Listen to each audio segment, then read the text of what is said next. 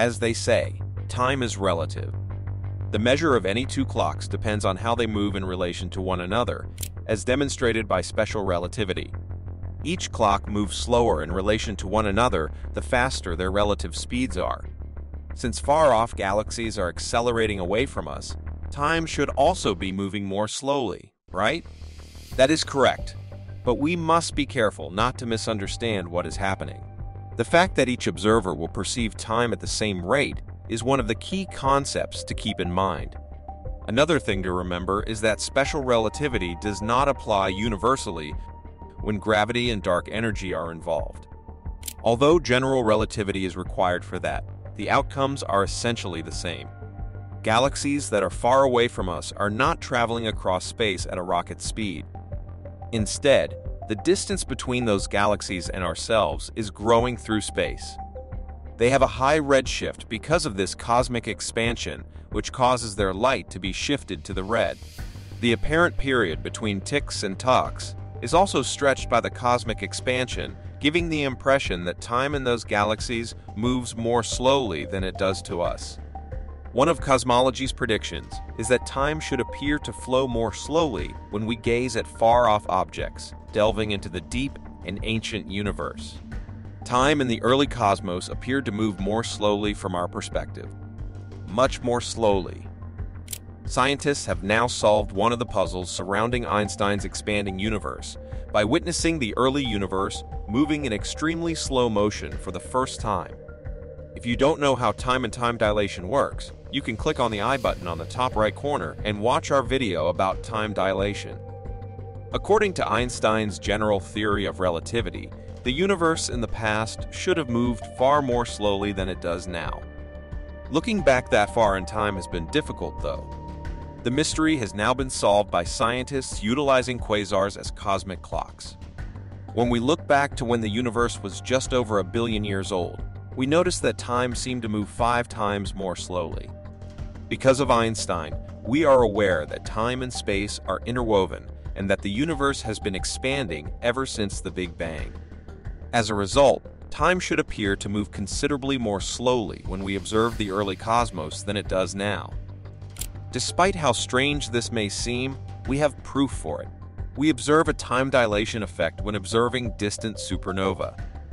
Because they all have a uniform maximum brightness and a constant light curve, which means that they all brighten and fade over roughly the same amount of time. Type Ia supernova are used as standard candles. Researchers have shown that a type Ia supernova's light curve stretches out the farther away it is. In other words, a distant supernova brightens and fades more slowly than a nearby supernova. Distance seems to slow down time. This relationship between distance and time dilation ought to stay true all the way back to the cosmic microwave background, according to the conventional cosmological model. The evidence we have gathered is consistent with that notion, but it is fairly constrained. The universe is a little under 4 billion years old when the farthest distant supernova we have seen were created. But thanks to quasars, a recent study has demonstrated the model at much longer distances. Supermassive black holes found in early galaxies give rise to quasars, which are extremely potent active galactic nuclei. They are large, energetic black holes that produce energy as they gorge themselves on gas, dust, and other matter that is in their gravitational field, making them brilliant objects. Due to the fact that they were initially found to be prominent radiolite sources, they are known as quasars or quasi-stellar objects.